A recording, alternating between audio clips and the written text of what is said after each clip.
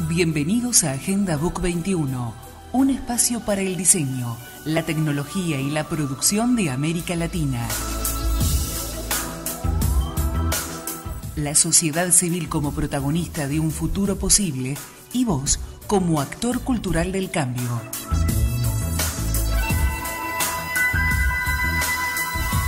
Agenda Book 21, tu espacio de participación. Agenda Book 21.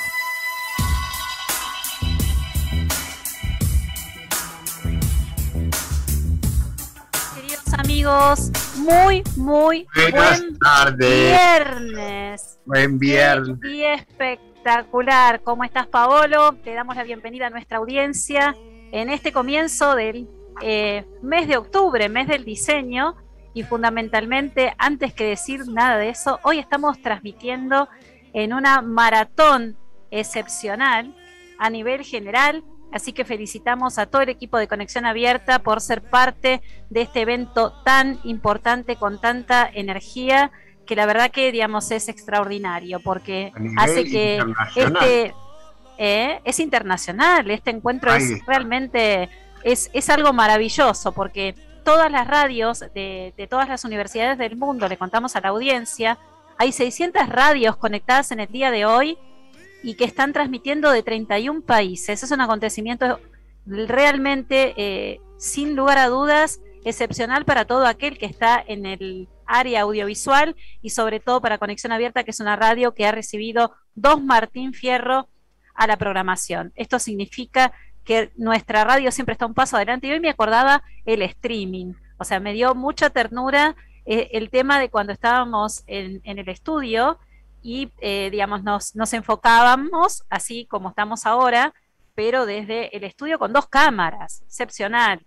Así Sí. que, bueno, un recuerdo maravilloso este, y lo compartimos con Gaby. Así que tenemos una frase especial, Paolo, hoy. Es una frase para pensar. Bueno, en fin. Dice que si los diseñadores somos exigentes en la resolución de nuestros diseños, furiosos en los detalles, concretos en las relaciones con el producto, ¿por qué no lo somos con nuestra presencia y pertenencia en la sociedad? Esos silencios de radio que tan importantes nos hacen pensar esos segundos en cómo realmente tenemos un compromiso profesional y este mes del diseño de la Asociación Latinoamericana de Diseño que lo propuso a nivel Mercosur desde 1997 nos llama a que esta reflexión sea continua a lo largo de todo el mes. ¿Qué te parece, Paolo? Y sí, por eso justamente la tomé para, o sea, el mes del diseño en una sociedad en particular y mundial que necesita de alguna forma rediseñarse. Es muy importante la participación de los diseñadores, no solamente con sus diseños, sino con su aporte, eh, con su exigencia, con su furiosidad, eh, con su concreteza. ¿eh? Hace falta que los diseñadores participemos, participemos, por favor, señores y Es señoras, cierto. y por qué no niños diseñadores. Es que los niños tienen de por sí una actitud particular en algunas ocasiones para ser creativos y diseñadores natos.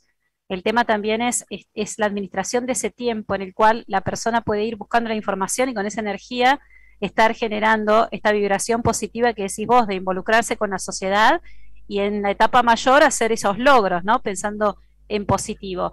Eh, me voy a, a tomar un cafecito. Hoy es el día del café, Paolo.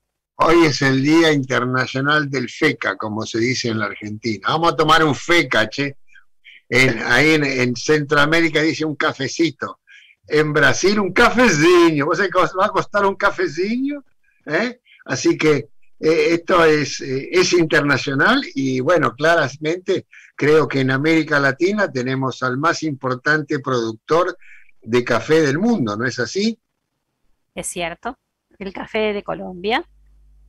De Brasil también. y de Brasil. Y tampoco es que también Perú tiene, tiene producción de café. Seguro. Y Todos los, que tienen, todos los que tienen la parte del Amazonas y que los atraviesa una buena zona, te digo, por es eso se llama. Ama- por eso se llama Amazona. Este, las este, Amazonas. Las pero Amazonas. en, en, África, Amazonia. en África también se produce muy buen café. Hay una, la vez pasada había visto un, un, trabajo de, una, de un grupo, una comunidad productora de café que manda el café ya preparado a Alemania con todas las exigencias del mercado, del mercado común europeo, realmente sensacional. Así que el café es un bien de cambio, esos granos de café valen, Tal cual. valen oro, valen oro. Además hay una cosa, tenemos que aprender como productores de la materia prima a darle valor agregado para justamente ir incorporando el café a distintos ámbitos, no solamente como bebida, sino también como postre, como, digamos, una, una, parte del almuerzo, los granos de café con chocolate, qué rico. Un, bueno, tiramisú, el, el, un tiramisú sin café no es tiramisú, así que por supuesto. Vamos, a, vamos adelante. ¿Qué más tenemos después bueno, de todo? tenemos que empezar con una agenda interesante y yo quisiera resaltar eh, la importancia del MAP, porque realmente empezamos un mes eh, en homenaje al diseño y creo que el Día del Patrimonio es el acontecimiento con el cual me gustaría arrancar el programa. Bueno, justamente mañana, mañana se descubre una placa que el MAP eh, donó a la comunidad de Piriápolis en homenaje al, al, al, último sitio donde Francisco Piria estuvo presente con sus iniciativas en la ciudad, un hecho patrimonial. Así que donamos una placa de, de granito sobre una especie de monolito en, la, en plena vereda de la Rambla de Piriápolis, que va a ser en unos días declarada monumento histórico en Uruguay, justamente la Rambla. ¿eh? Así que, bueno, es un, sentido homenaje y una devolución a la ciudad a la cual le tenemos tanto afecto y tanto cariño. Así que, y eso hay que agradecer también al Comité Pro Piriápolis UNESCO que ha colaborado y que estamos trabajando fuertemente para, para poner en valor eh, la región y la comarca, como dicen allá, y la ciudad misma. Así que bueno, gracias. La comarca de las, de las colinas y el mar. La comarca de las colinas y el mar, como dice RBC Piriápolis siempre, en el 1230 de su dial. Así que este, vamos adelante. Y prontamente También tenemos la, la muestra en el mar. Sí, prontamente vamos a estar transmitiendo desde Piriápolis alguna, alguna emisión de radio. Sí, y además, bueno, se inauguró anoche la exposición de las eh, de Viajando por Roma, del, grupo de, de, fotógrafos becados en Roma, en el, en el, Museo de Arquitectura, en la famosa Torre del Agua, que está bellísimo el lugar, y en el eso en la, en la torre está la exposición de los trabajos que vino de España. Y en el, en el cubo al lado, en la parte nueva, por así decir, hay la exposición que quedó sin exponerse de la Bienal de Joyería, que está muy interesante, son, son eh, trabajos liliputienses, todos trabajos muy pequeñitos, una infinidad de trabajos pequeñitos, eh, vale la pena visitarlo, lo vamos a subir mañana posiblemente al, al, WhatsApp y al Face para que la gente lo vea y, y pueda visitar. Vale la pena, vale, vale, vale, la pena un paseo hasta el mar, señores. En la bajada de Callao para los de Buenos Aires y eh, Libertador San Martín. ¿Listo? Vamos. Qué bien. Más. Bueno, vamos a hacer el ping-pong de esta semana que realmente nos dejó aniversarios. Ping-pong, ping-pong. Más, ping sí, más que importantes. Y bueno, vamos a empezar a contar que este septiembre tuvo como protagonista el Día Mundial del Turismo, así que muy pronto vamos a estar comentándoles el Meet-Out que organiza OCA, así que vamos a estar presentes también. El Día Internacional del Acceso a la Información. También el 28 de septiembre, el Día del Rector y del Director, así que saludamos a todos los directores y rectores de nuestras organizaciones miembros. El Día del Inventor, Paolo. ¡Viva la Virome! Mr. Viro presente, por favor. ¿eh? El, el, el, aquel que observó cómo las bolitas se deslizaban sobre un piso mojado y de ahí sacó la idea de la virome con su socio que se empezaba con ME, creo que Meyer o algo Meine, así. Meine, Meine, Meine. Entonces Viro y Meine hacían virome.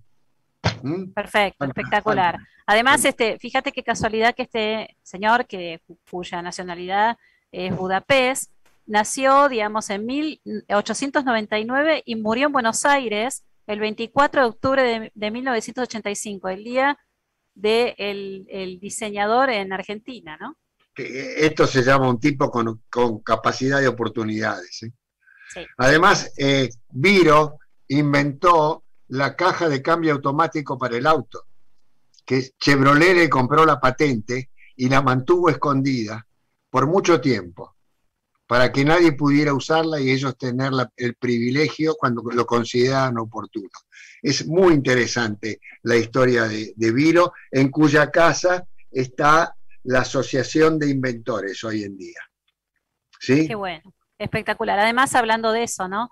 Qué interesante también es que cuántas veces con la Virome debe haber hecho sus gráficos Kino, que es el padre de Mafalda, ¿no? Mafalda cumplió 57 años el 29 de septiembre, cuando allá por 1964 se publicó por primera vez la tira, que hoy sigue siendo realmente una niña que reflexiona y ríe con nosotros, ¿no? Y nos hace sentir que estamos ligados a esa ingenuidad que hace que veamos el mundo de manera diferente. Me encanta eso. Sí, aparte Mafalda la encontrás en los kioscos de todo el mundo. A mí me daba mucha gracia este, verla en los kioscos en Italia, eh, como, y aparte con la traducción italiana era, era realmente muy, muy cómico. Pero bueno, eh, admirada, admirada por, por todos, ¿eh? admirada por todos. Gran trabajo de una memoria aquino. Vamos adelante. Bueno, también tenemos otro acontecimiento importante que tiene que ver también con nuestro auspiciante, que es la Cámara de Innovación Textil, a quien mandamos un este, abrazo muy grande al presidente de CAITA, Ernesto del Burgo, porque también aglutina, como la Confederación Panamericana de Alta Costura, a los que son diseñadores de indumentaria textil en su día. Así que felicitaciones a todos los que nos siguen en la radio, en el programa. Y también tenemos que recordar que todos aquellos que estamos en distintas áreas del diseño medimos y el 28 de septiembre de 1889 se definió el metro, el metro iridiado, ¿no? la barra hecha de, esa aliación entre platino e iridio y que permitió medir los polos de Dunkerque a Barcelona, porque eso siempre me quedó como un dato más que interesante y así, digamos, este, tenemos esta, esta medición, qué interesante. También, a ver, tenemos que felicitar la actividad que realizó otro de nuestros partners y sobre todo en nombre de María Alejandra Uribio, que es de diseño nuestro. Además, ella es docente en la cátedra de diseño inclusivo y también en otras cátedras de la Facultad de Arte porque se llevó adelante con el acompañamiento de todos los integrantes de la facultad la Semana del Artista auspiciada por Aladia. Así que excelente lo que hemos visto presencial porque los alumnos han tenido la oportunidad de participar igual que los profesionales. Así que interesante esto. Y hoy, que volvemos otra vez a de, Tucumán, nos venimos nuevamente a Buenos Aires. Paolo, hoy a las 13 horas, la arquitecta Piastrellini estuvo en el homenaje a Clorindo Testa. Bien, bien, bien, bien por Adriana, porque uno de los proyectos que se están exponiendo es un homenaje a Clorindo, el gran Clorindo, este, que se está exponiendo en lo que es el edificio del ex Correo Central de Buenos Aires. No voy a decir el nombre porque no me apetece, el CCK. Eh, bueno. Bueno. En fin, inmerecido, inmerecido nombre para tan espléndido lugar.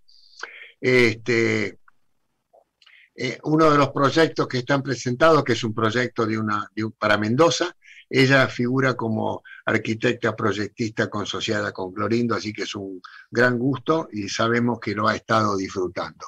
Será realmente, vale la pena visitar el edificio, ¿cierto? Es cierto. Y las Il Sangue Parla. Ese es el título del homenaje al querido Clorindo. No me extraña, porque me acuerdo en una conferencia que voy a decir que dimos, lo voy a decir así, porque yo estaba sentado en la mesa de conferencias al lado de Clorindo, primero habló él, después hablé yo, pero lo que habló él era muchísimo más importante, totalmente, y él, todos estaban, era una, un precongreso de prearquitectura en Rosario, y Clorindo no habló de arquitectura, sino contó de su viaje en barco de Italia cuando era niño. Así que nos tuvo a todos embelesados contando sus peripecias este, infantiles náuticas. ¿Eh? un genio. Adelante. Bueno, ese es el pensamiento lateral, como también de alguna manera se cultiva en un colegio como el WAR, donde también este, tienen la, temporada de las artes y han compartido con nosotros una este, muestra virtual excelente, así que próximamente vamos a estar invitados en octubre, en el mes del diseño, a una actividad este, con el Colegio WAR. Excelente eso también. Además, desde La Plata, interesante es el tema de que hay una muestra, una colección muy interesante, que tiene que ver con este, justamente el Museo de Ciencias Naturales, porque se va a estar exponiendo de la Nubia a La Plata, con todo lo que tiene que ver con este, eh, esta investigación de la arqueología del rescate del doctor Abraham Rosenbasser. O sea ah. que en su viaje a Sudán, porque en realidad Nubia está en el límite con Sudán, pueblo nubio. Excelente lugar para recorrer porque es parte del recorrido del Nilo.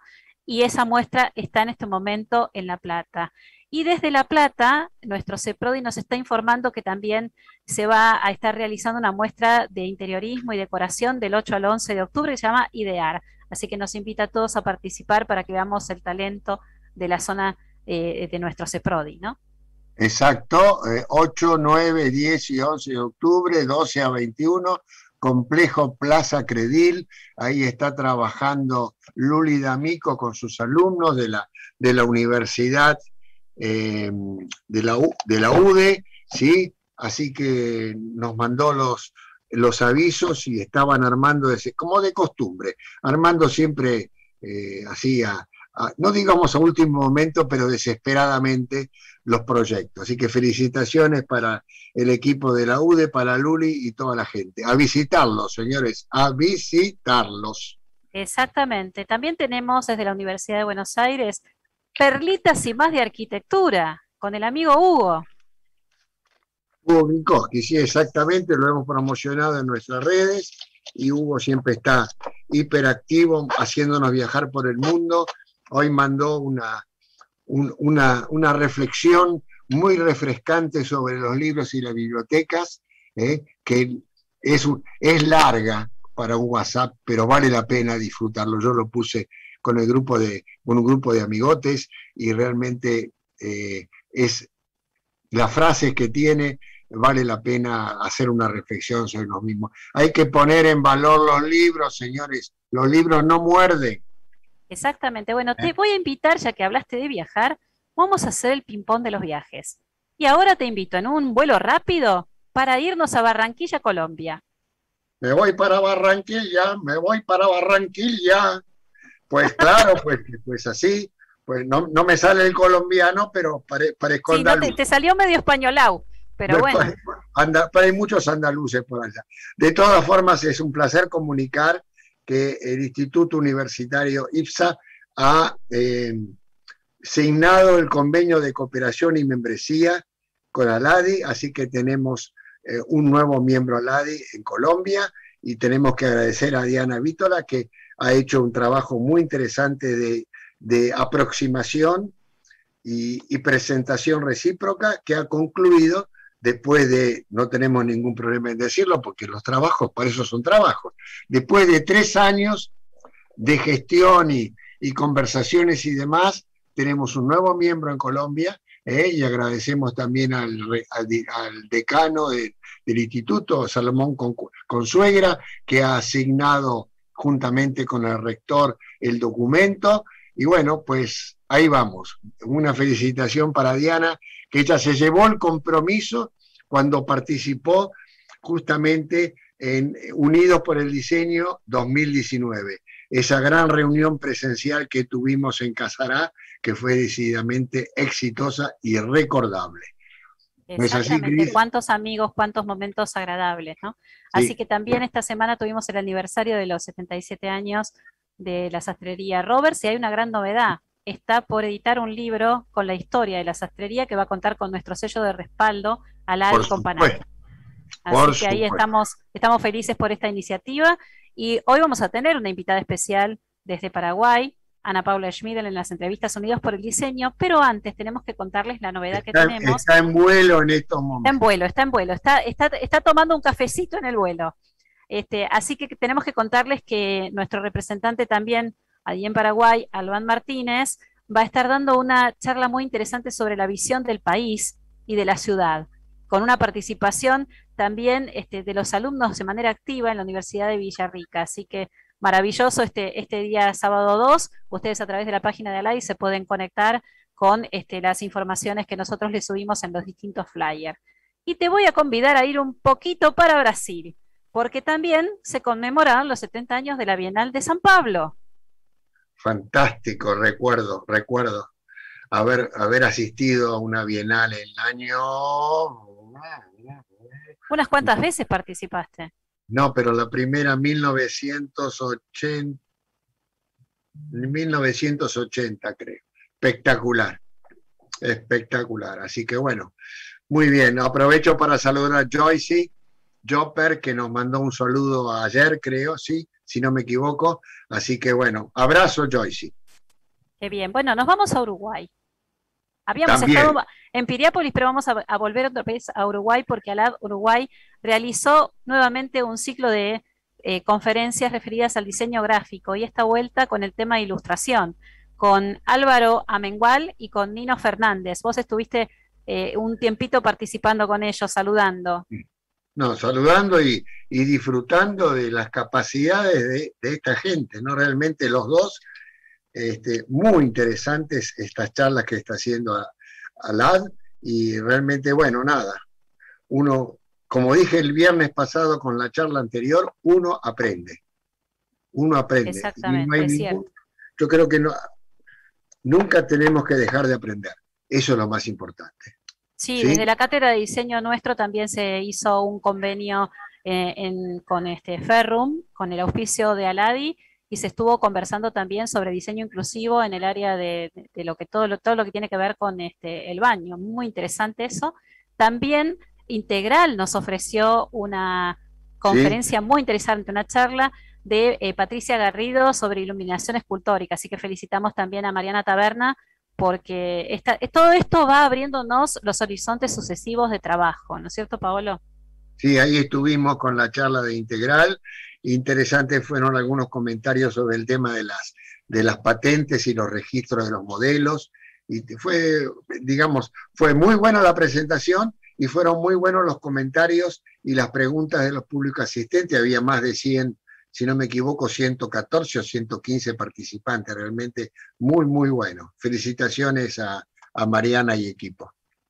Bueno, acá tenemos una combinación interesante, porque en realidad la información nos lleva por gentileza de nuestra corresponsal de Japón, Miwako Suzuki, que tiene un contacto constante con este, Costa Rica y nos está comentando que se está haciendo diseño con sentido, que es un encuentro y reflexión para este, buscar inspiración y fortalecer todo lo que tiene que ver con la visión del diseño y el desarrollo también del ecosistema creativo y cultural. Así que vamos a estar siguiendo atentamente todas estas actividades porque también se abre la semana del Costa Rica Fashion Week. Así que bueno, ahí está la convocatoria también a los diseñadores. Todo esto está en la página de Aladi, así que síganlo porque es muy interesante. Un gran saludo para Luis Fernando Quiroz, nuestro queridísimo amigo allá en Costa Rica y, miembro fundador de Aladi en Bogotá en 1980.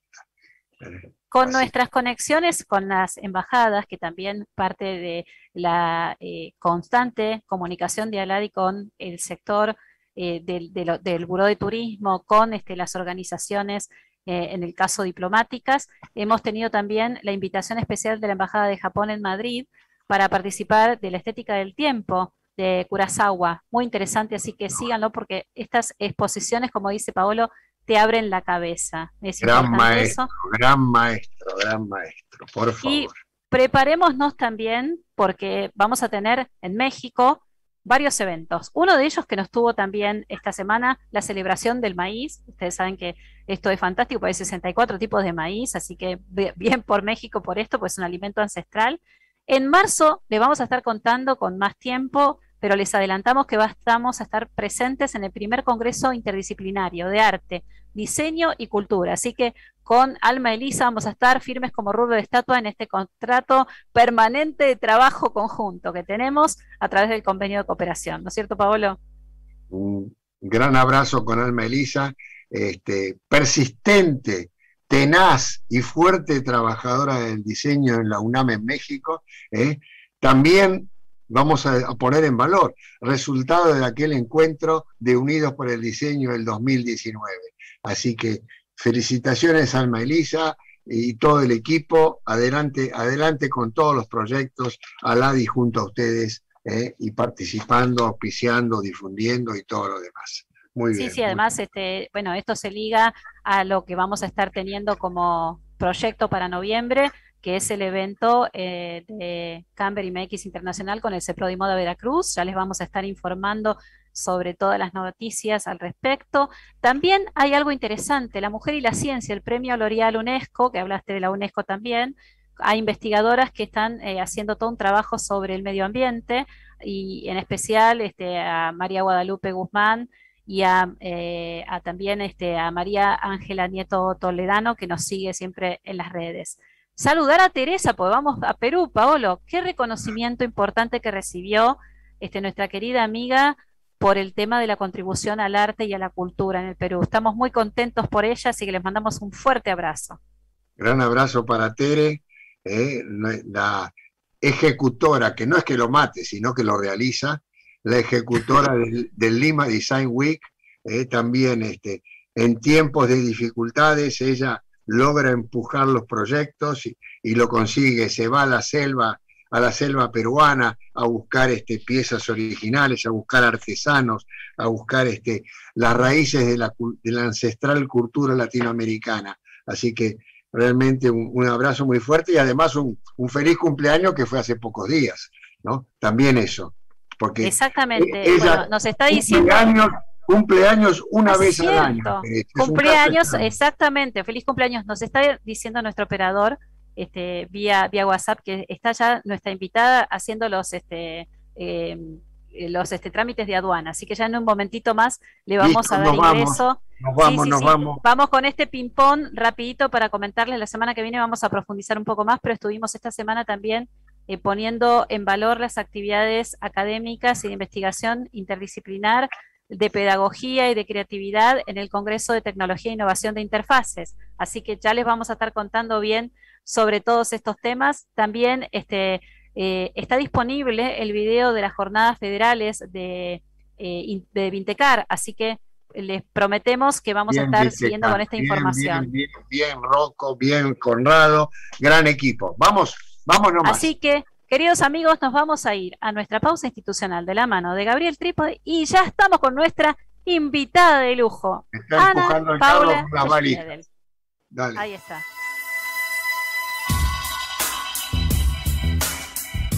Auspicio institucional de la Companac, Confederación Panamericana de Profesionales de Alta Costura, acompañando a Agenda Book 21 desde cada uno de sus países miembros.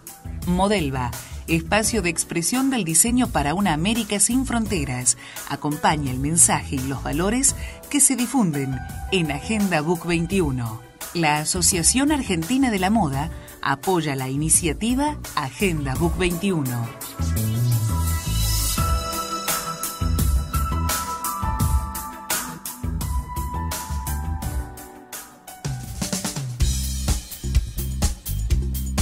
Compartimos Agenda Book 21, un espacio para pensar y dialogar. Agenda Book 21, un punto de encuentro en www.conexionabierta.com.ar, donde vos estás.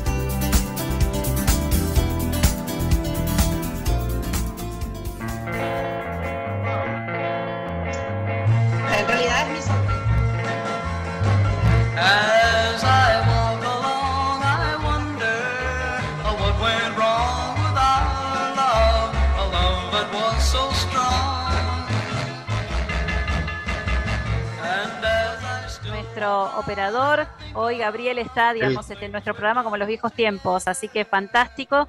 Y le damos la bienvenida a nuestra entrevista Unidos por el Diseño a nada más y nada menos que nuestra representante también, porque tenemos tres representantes en cada lugar ¿no? de, Paraguay. Y en este caso tenemos, creo que una de las mujeres más bellas de nuestra Ladi.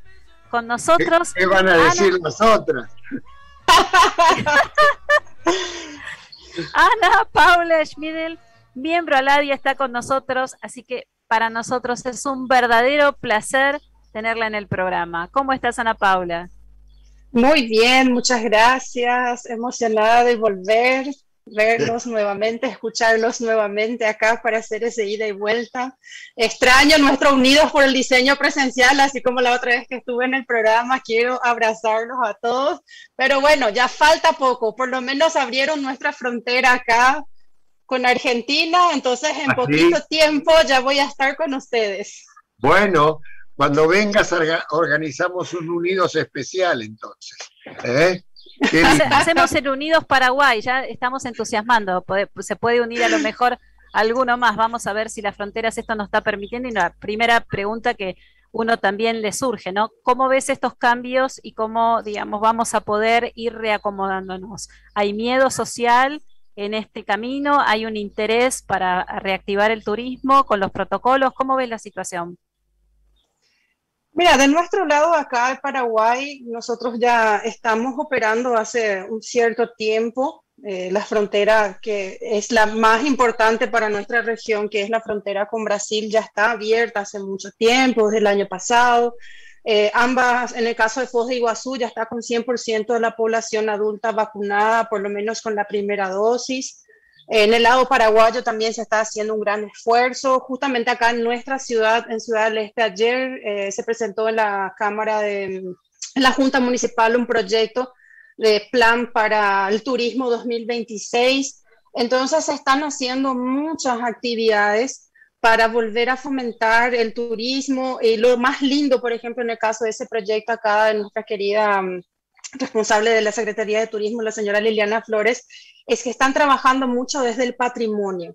Eso es lo más lindo, porque Ciudad del Este tiene mucha historia que contar, eh, muchas edificaciones históricas. Nuestra región es una región que tiene mucho, no solamente de bellezas naturales, sino que también de patrimonio eh, cultural, patrimonio de la gente. Están con un proyecto precioso de, revitalización de la historia de un barrio, eh, utilizando la arquitectura, el diseño. Eh, el arte popular de nuestra gente para revitalizar y así atraer el turismo. Entonces, eh, en Foz de Iguazú están haciendo iniciativas similares del lado argentino ahora que se abrió la frontera esta semana, está calentita la apertura del puente. En nuestra frontera acá con Puerto Iguazú, Foz de Iguazú. Entonces, eh, se están haciendo muchos movimientos a nivel tanto de instituciones como de la iniciativa privada para revitalizar y es muy lindo y lo que yo vengo observando es que los sectores están apostando mucho al arte y al diseño como atractivos turísticos. Ese sí es un gran cambio eh, que vino a través de esa situación que vivimos nosotros, que fue la pandemia. Así, bueno, de golpe cortaste la conversación, ella arranca con el motor con todo y de golpe pone punto muerto. Para poner el escenario, la puesta en escenario. Exactamente, qué, qué bien el tema del patrimonio el cual venimos este, en la LADI trabajando de hace tanto tiempo, ¿eh? y tenemos gente muy valiosa en el circuito que está, que está pensando y trabajando, así que bueno, qué, gusto será poder integrar el proyecto al conjunto, ¿no? ¿Eh? Y tu, tu gestión con las pequeñas y medias empresas y con los este, principiantes en el empresariado, con tu grupo de mujeres y demás, ¿cómo está eso? Y sí, seguimos avanzando. la pandemia nos puso muchos desafíos. Eh, el tema de la absorción de la tecnología fue uno de los principales desafíos. Desde el año pasado, las clínicas emprendedoras que estuvimos haciendo, los distintos proyectos y este año también, eh, seguimos trabajando mucho con el marketing digital.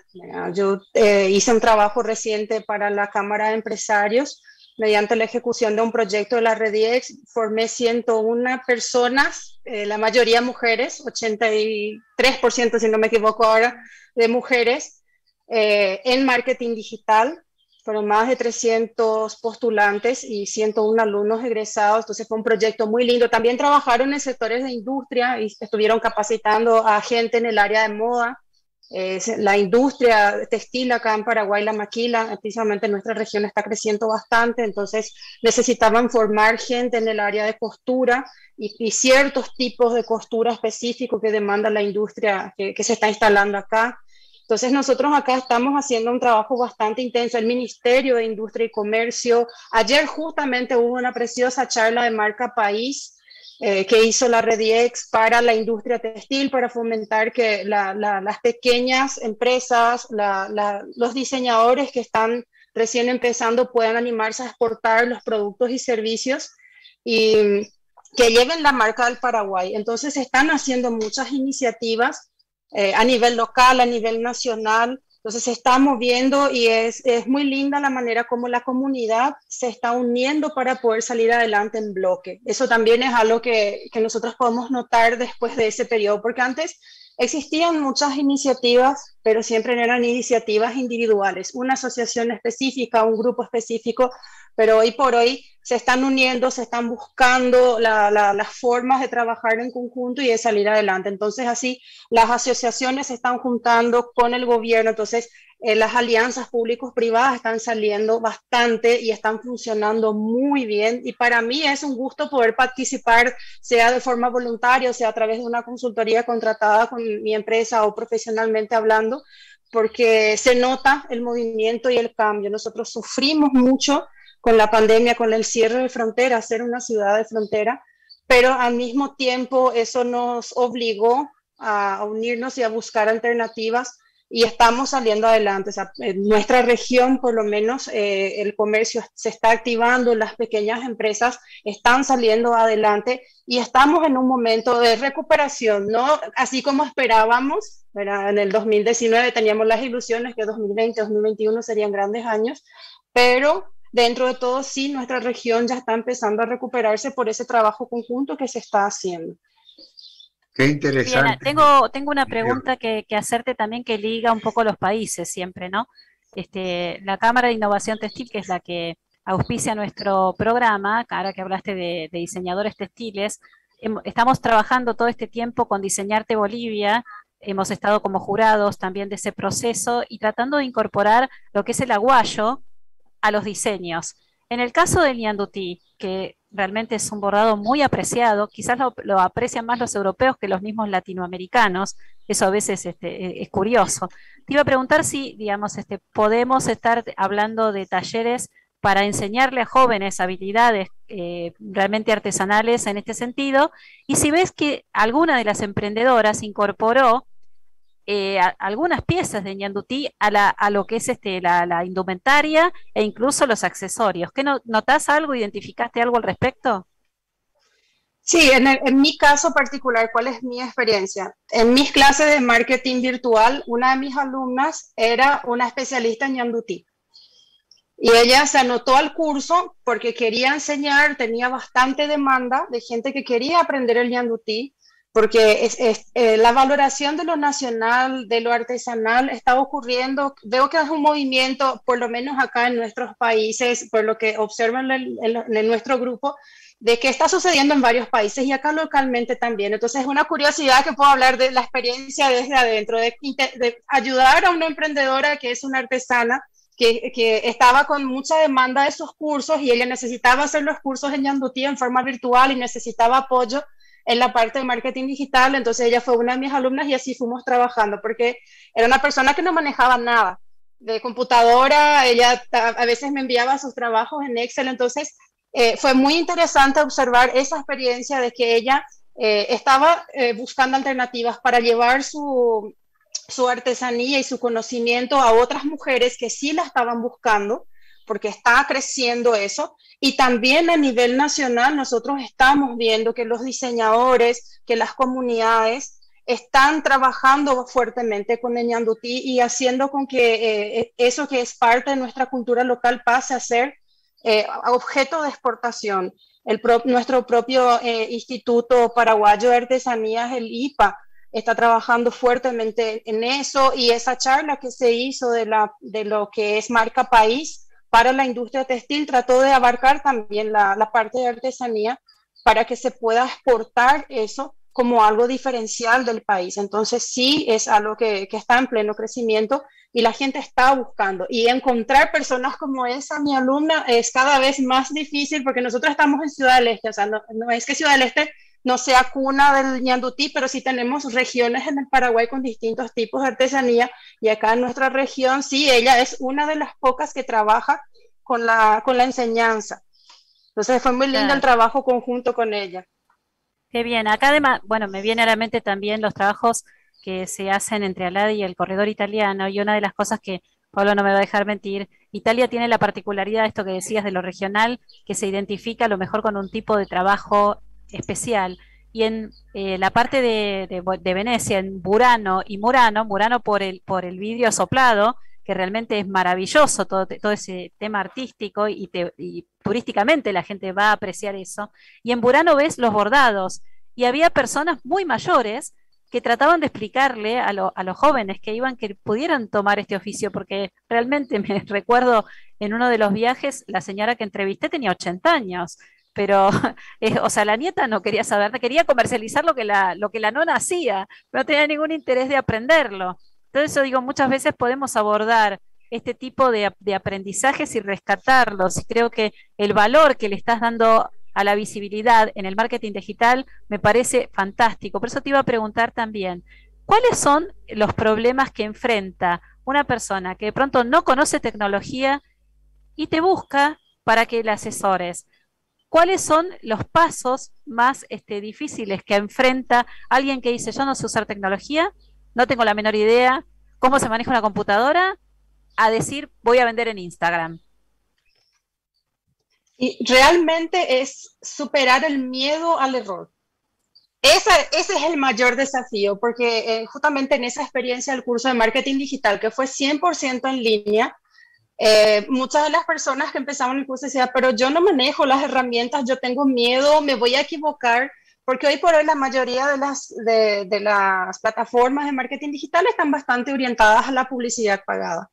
Entonces tienen mucho miedo a, a eso de equivocarse, a de colocar su tarjeta de crédito, eh, que se les estafe, porque no manejan muy bien lo que es el concepto tecnológico en líneas generales, ¿verdad? O sea, los pagos digitales, eso de, tener una cuenta bancaria, eventualmente eh, tener una tarjeta de crédito. Entonces, son cosas muy novedosas porque la mayoría son, son mujeres ya mayores. Son mujeres que eh, están buscando emprender para tener un ingreso mayor en sus casas o porque no llega la economía familiar y entonces intentan buscar en, esos trabajos, llamémosles así alternativos, porque así es como ellas se ven al inicio, ¿verdad? no como algo que, que, se empoderen y digan, bueno, este es mi negocio, sino que es un pequeño trabajo para aumentar la economía doméstica. Y en ese sentido, ellas no conocen de muchas cosas. Y cuando me buscan, el primer desafío es ese, tratar de decirles tranquilas, eh, es sencillo empezar, no es tan difícil, podemos utilizar el celular, no necesitamos de la mega tecnología ni del mejor equipo, entonces, con lo que tenés podemos empezar y con pequeños pasos vamos saliendo adelante. O sea, entonces, nosotros vamos trabajando con, con, tips, con consejos. Hace unos días justamente eh, recibí en mi oficina a dos emprendedoras. Una de ellas trabaja con joyas, que es Irma, tiene una empresa de, de joyas de plata. Eh, y vino junto a mí y me dice, mira, no entiendo mi teléfono, ayúdame. Y estuvimos trabajando juntas. Eh, bueno, contame cuáles son sus tus desafíos, qué no estás consiguiendo hacer acá en tu Instagram, qué no estás pudiendo hacer en tu Facebook. Entonces, así de a poquito vamos desenredando para que ellas efectivamente puedan tener un negocio que funcione y que puedan animarse a tener presencia más allá de lo local de lo que sería su ambiente de barrio o del, pequeño local que consiguen armar para ya estar a nivel país y, ¿por qué no?, sacando sus productos a otros lugares. Pues siempre las animo que exporten. Estamos en una frontera y cruzar el puente, como digo, siempre es muy sencillo. Ahora con la tecnología llegamos más lejos. Entonces, ese es el trabajo que, que tratamos de hacer, pero el principal desafío es superar el miedo. Una vez que pierden el miedo, ya salimos corriendo y vamos adelante. Ana Paula, ¿qué es eso de la beca? Cuéntanos. sí, hoy, hoy fue el día. Amanecí con el mejor viernes, mejor inicio de octubre de mi vida. Entrevista con ustedes, verlos de nuevo. Después, más tarde, voy a hablar con, gente de diseño acá en de, de LatinoWare. Pero a la mañana tempranito amanecí con la noticia de que logré una beca me postulé a una beca de un diplomado de innovación empresarial que está siendo desarrollado por la Universidad Americana acá de Paraguay con un auspicio del Comité Nacional de Tecnología y la, la Comisión ProInnova para poder formar especialistas en el tema de innovación empresarial. Son 50 personas, 30 del área de, empresarial, digamos así, de empresas, gente como yo, que hoy estoy de vacaciones de la academia, porque también habían 10 puestos para docentes de innovación y 10 puestos a nivel gerencial, supervisores. Entonces fue una de las becadas y este lunes empiezo mis clases, así que prontamente vamos a seguir con la innovación empresarial muy bien. Por suerte tuve esa dicha de ganar la beca para el diplomado. Qué felicitación enorme, qué abrazo gigante que te damos. Sabemos de este gran esfuerzo y lo que significa también poder traducir los lenguajes. Yo creo que una de, las, cosas admirables en tu, persona, y te lo quiero decir públicamente, es la facilidad con que llegas a la persona común para explicarle cosas complejas con un lenguaje sencillo. Porque también pasaste desde el momento que te conocimos del contacto directo con aquel eh, productor que quiere eh, vender y de repente había un contacto a través del lenguaje y del encuentro eh, a lo mejor en, su taller o en su empresa y hoy tiene que vender con caracteres. ¿Cómo se complicó eso para el tema de aprender a vender en, unos cuantos caracteres poniendo realmente frases de gancho? ¿Cómo se llamaría hoy en día, además de, marketing digital, el tema de pegarla? O sea, decir, aquí voy por este lado. Justamente ese es uno de los grandes desafíos, porque nosotros acá en Paraguay estamos muy acostumbrados todavía al uno a uno, al ojo en el ojo. Eh, al, querer estirar la venta desde el brazo, venía acá y vamos charlando. Y estamos acostumbrados al papo, a papearle a nuestro cliente para poder sacar, al contacto personal, y eso es muy difícil en, en, Internet. En Internet estás expuesto a gente que, bueno, nunca te vio, que probablemente nunca te va a ver. Yo sí tengo clientes que están en Chile, que están en Perú, que yo nunca los vi, pero hace un año ya lo que estamos trabajando. Y a lo mejor, si tenemos suerte, el año que viene nos vamos a encontrar. O sea, esa fue, es una de las grandes dificultades y lo que trabajamos mucho en la, con, con los clientes y también con las chicas en, la, en las capacitaciones es esa capacidad de comunicar, de encontrar la esencia y el valor de lo que ellas necesitan eh, expresar y no solamente estar en el, acá tengo el producto, toma el producto, toma el producto, porque al final es eso lo que terminan haciendo por la falta de conocimiento. Entonces, lo que tratamos de hacer siempre con ellas, o sea, el, el consejo que yo siempre les doy es paren, piensen en lo que sus clientes normalmente le dicen de por qué compran con ustedes, por qué es lindo tu producto, agarran de las propias interacciones con su público, que hoy por hoy, por suerte, están todas escritas o por audio en el WhatsApp, en el Telegram o en, en direct, en las redes sociales. Ahí nosotros tenemos el mejor insight para poder sacar las ideas de los mensajes que puedan después reproducir en sus pautas o piezas publicitarias. Entonces, a través de la propia interacción, que es diferente, no es igual, pero sí te deja eh, posibilidades de sacar ideas y de eso tratar de reproducir. Así conseguimos que las chicas se animaran a armar sus planes y empezar a publicar también. Y vi varias de mis alumnas que ahora, desde eh, inicios de enero, nosotros estuvimos haciendo el curso, fueron cinco grupos, están eh, publicando, sus redacciones son impecables, realmente. Para mí es muy lindo ver cómo evolucionaron ellas, cómo puedo acompañar su crecimiento en las redes y como ellas sí están logrando eh, tener buenísimos argumentos publicitarios, están casi ya a nivel de, de publicistas mis alumnas, porque ah. es, es, con la práctica que van ejerciendo y van eh, acercándose más a sus clientes. Entonces, realmente es, es, el consejo que yo siempre trato de darle, salir de, de, lo sencillo, del propio insight de su, de su mercado y de sus clientes. No hay mejor manera que, como yo siempre digo, la experiencia de la despensera. Ella conoce a la gente, ella sabe lo que tiene que decir, cómo sacarte una sonrisa. Entonces, con, con las despenseras del barrio tenemos que aprender. Con las despenseras del barrio. Qué linda frase.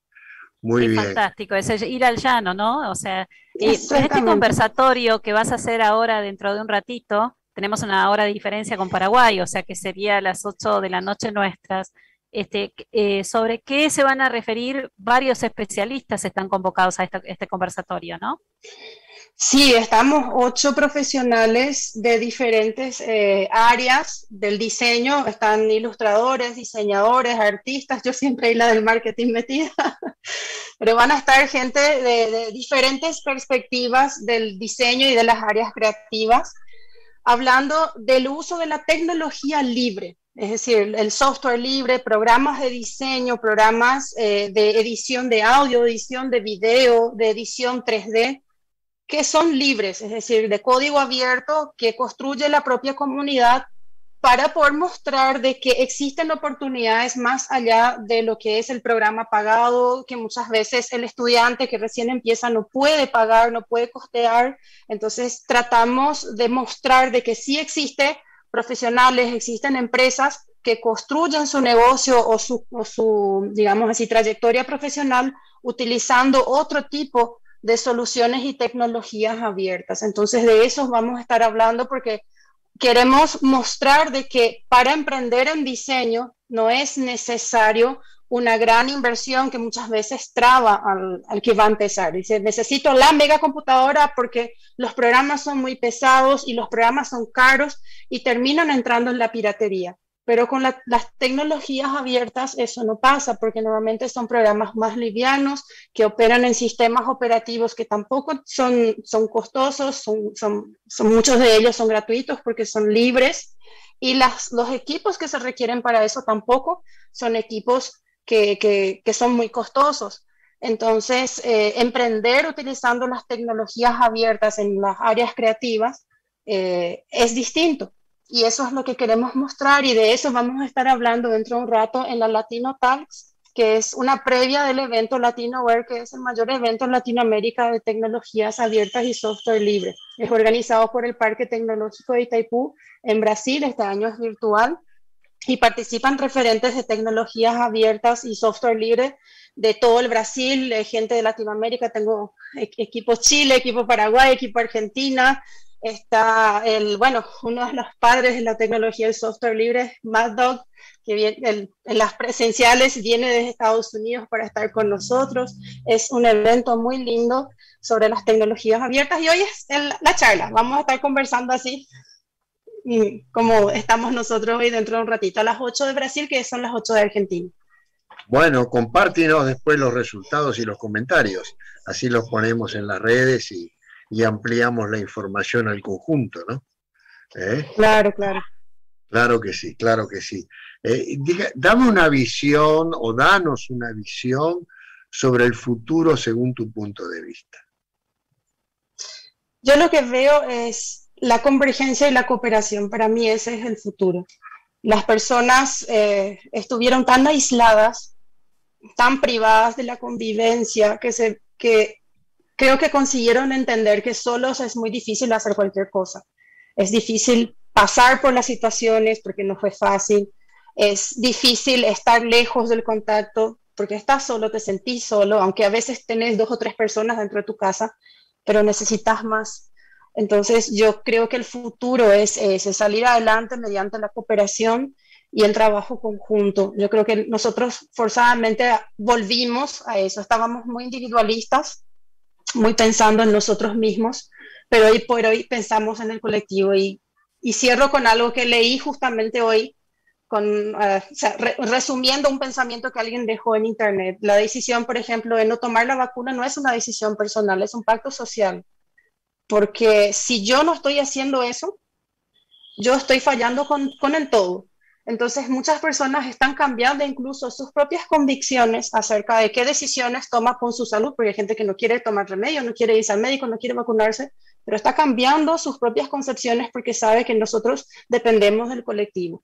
Entonces, para mí el futuro es un crecimiento en los próximos años por esa cooperación y el trabajo colectivo. Para mí eso cambió demasiado y vamos a ver, vamos a cosechar eso en este año, el año que viene y de así en adelante. Qué bien, Paula. no, francamente me, me, da mucho gusto escucharte y ese concepto del, del, trabajo conjunto, del vivir juntos, del proyectar juntos, es realmente una concepción vivaz ¿eh? y, desafiante para muchos. Para muchos nosotros los llamamos ombliguistas, que se miran el ombligo sin mirar el horizonte. Eh, y el horizonte es el desafío, por eso empujamos los horizontes continuos en la LADI. ¿no?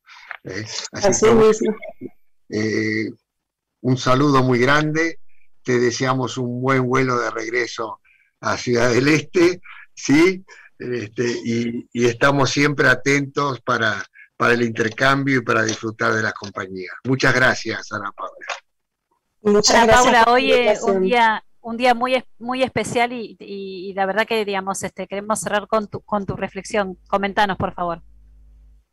Ah, quisiera agradecer como siempre la invitación de ustedes, el poder compartir el poder estar juntos, poder seguir produciendo a pesar de la distancia y de las fronteras. Para mí ese es el gran valor al y por eso yo los quiero, los aprecio con todo mi corazón y siempre eh, aprendo mucho de cada uno de los colegas y de, la, de lo que vamos compartiendo y de lo que vamos eh, trabajando juntos para construir. Entonces, quiero agradecer el espíritu de Unidos por el Diseño, que ponen todos los compañeros ADI cada vez que nos encontramos, cada vez que interactuamos en el grupo y bueno, oportunamente, si todo sale bien, año que viene en vivo y en directo, seguimos compartiendo ese espíritu de Unidos por el Diseño. Muchas gracias por la invitación. Nos veremos en Lima, que tenemos el Congreso. En el, sí, en, pocos, en pocos días ya estamos en Lima de nuevo. Sí, bueno, gracias por todo, Ana Paula. Gracias, querida Ana Paula, y como siempre les decimos hoy, un día muy especial porque la radio está transmitiendo con todas las radios del mundo, así que tuvimos hoy una representante significativa de lo que es el área digital. Así que verdaderamente eh, tenemos mucho para aprender contigo, Ana Paula, te vamos a seguir invitando porque es un placer conversar de todos y de, y de todo lo que tiene que ver con gente sencilla que acceda a oportunidades increíbles solo con el hecho de la voluntad porque todos tenemos capacidad para aprender, lo importante es dar ese paso. Y como bien dijiste al principio, no tenemos que sentirnos mal por cometer un error, porque nadie es perfecto. Y eso me parece un mensaje extraordinario que te lo agradecemos todos y especialmente la gente sencilla que nos escucha en el programa y que dice, yo tengo una oportunidad voy a seguir esto que dice Ana Paula y me parece significativo, porque la LADI es eso, es pensar ese horizonte sucesivo animándote a más. Así que queridos amigos, agradecemos a Conexión Abierta la oportunidad de tener estos espacios increíbles de reflexión y como siempre decimos, sigan en Conexión Abierta con Agenda BU 21, ¿dónde vos estás? Un beso grande, Ana Paula. Gracias, Ana Paula, un abrazo. Gracias, Conexión Abierta.